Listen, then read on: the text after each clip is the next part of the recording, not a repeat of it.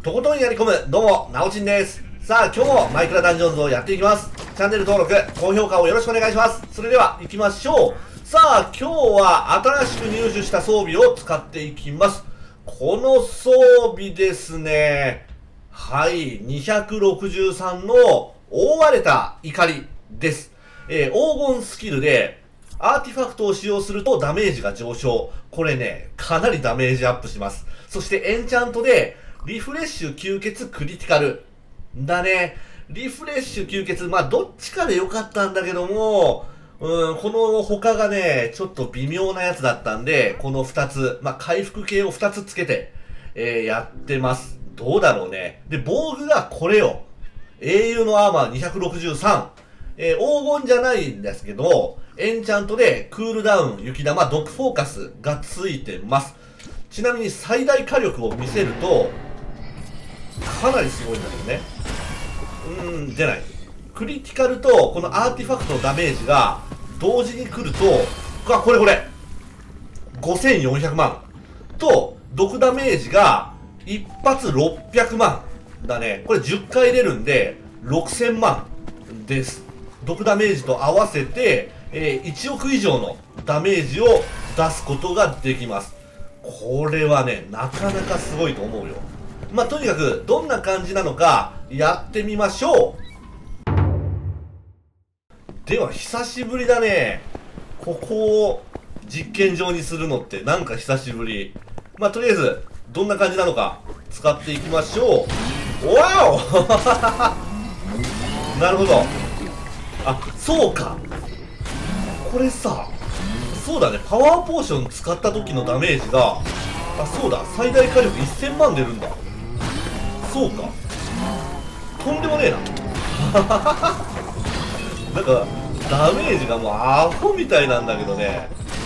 で、さらにこれ、あの、バブルバースターで、攻撃もしていけるんで、移動とか、敵がむちゃくちゃ出てきた時とかも、まあ快適にいけます。あ、まあまあむちゃくちゃ出てきた時は、この怒りで全然いいのか。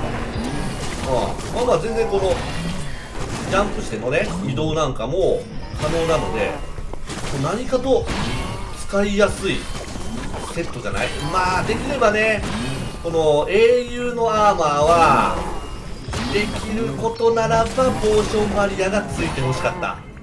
うん。だったらば、ポーションバリアとリフレッシュのね、相性も最高だからね。で、しかも英雄で40%ダウンがついてるって、もうめちゃくちゃいいやつだからね。うん、それだったらよかったけどね。でもまあまあ、こんなにね、贅沢を言わずとも、これはなかなかすごいよ。あれ、ダメージ表示されなくなった。うん、やばいダメージだからかまあそんなことはないだろうけども、とんでもねえ。では行きましょうか。まだパワーポーションついてるんで、いいんじゃないですか？いけ。おいおい ちょっと待って。えぐいんだけど、これ。すごい。あのね、毒ダメージの徐々に減るダメージが、もうなんだろう、普通の武器で攻撃してるぐらい、ダメージが減っていくもんね。とんでもねえな。めちゃくちゃ強い、これ。はい、ということで今日はね、新しく入手した装備を使ってみました。えー、強い。これはなかなかいい装備だわ。